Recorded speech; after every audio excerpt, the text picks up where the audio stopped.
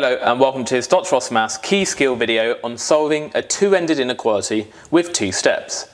Now in the previous video we explored what it meant to have a two-ended inequality where we have a sort of left end, a middle bit and a right end where we have two inequality symbols. And the key point is that whatever we do to one part of this we have to do the same to the other two. So what we do to this we have to do the same to that and the same to that. Now to solve this means to get x on its own in the middle. So if x has been multiplied by 3 and then we're adding 4, we undo the last thing done to it. So the last thing was plus 4. We subtract 4 from the left, the middle, and the right. So 1 minus 4 is negative 3. Let's copy that less equal to symbol.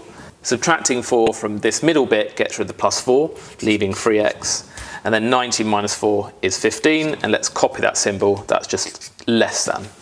Now, x has been multiplied by 3. We want to get rid of that times by 3. So we divide the left, the middle, and the right by 3. Minus 3 divided by 3 is negative 1. Less or equal to, let's copy that again. Dividing 3x by 3 gets rid of the times by 3, leaving just x. And 15 divided by 3 is 5. So that's the final answer. x is between minus 1 and 5. It includes minus 1 because x is greater or equal to minus 1, but it doesn't include the 5 because x is strictly less than 5, but not including 5.